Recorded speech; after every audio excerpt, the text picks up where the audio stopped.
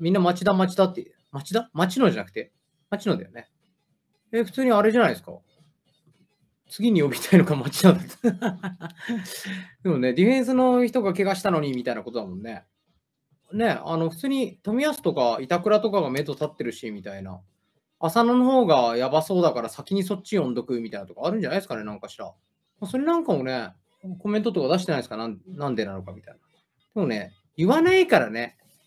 なんか言わないからみんなが推察して議論になるみたいなのもありますからね。大阪古橋。古橋はどうなんでしょうね。でも古橋の性格とか知ってる人とかに聞いたりすると、そういう感じの、なんかあれですよね。えぐい尖り方してるっていうより、謙虚に頑張る人みたいな感じらしいからね。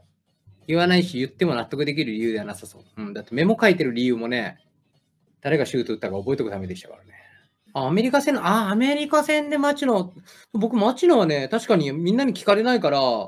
忘れてましたけど、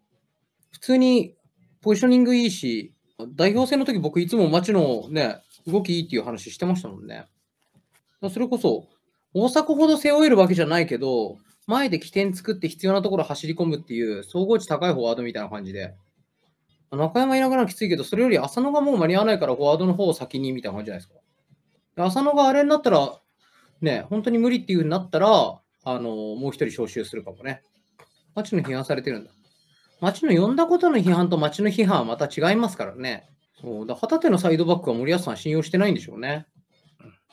町野の強みはボール受けるところを常に考えたりとか、守備の時にも首振りながら守備できたりとか、僕はトップに使うっていうより、あのデブライネ的な使い方するのがいいと思うんですけどね。自由度の高い前線の選手みたいな。だけど、まあ、森保ジャパンだと普通に4231のワントップか4123のワントップで、この間みたいにプレスはまんないの町のせいにされせされて、前線でね、このクオリティで剥がさなかったらフォワードが悪いって言われるっていう。ふわふわした人が作ってるふわふわした組織のサッカーをずっと見てるから、ふわふわしたサッカーはしか育ってないし、まあそういう国に生まれたんですけど、雨風をしのげる家とね、飢餓にならない食物が与えられるんで、感謝しましょうみたいな、そういう話になってきますね。